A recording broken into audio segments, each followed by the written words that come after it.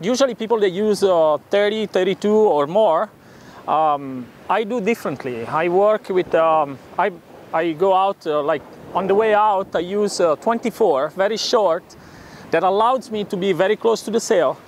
And uh, uh, which doesn't mean that I'm high, up high. I can be very low, lay down. Uh, like this, I can use as much as I can the power goes in the sail and to go full planing.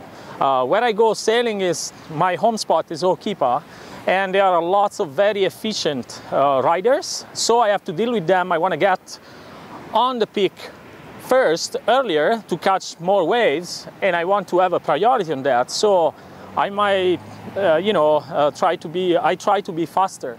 So on the way out, I use 24. On the way in, I use very short too, which are 26, just because I don't use as much harness lines as uh, people do.